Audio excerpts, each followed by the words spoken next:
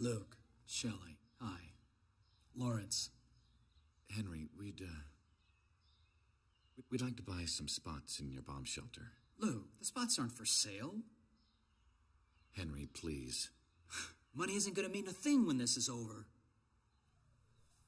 Okay, all right. There's gotta be something we can offer you. There's not. But you can have the spots anyway. Even with you, two of the ten spots are still available. Thank you, Henry. Thank you very much. Yeah. Nine people are gonna love me. Anyone shows up after that, I have to tell them they're gonna die. So I guess I'll take the gratitude while I can. Head on back there. Thanks again.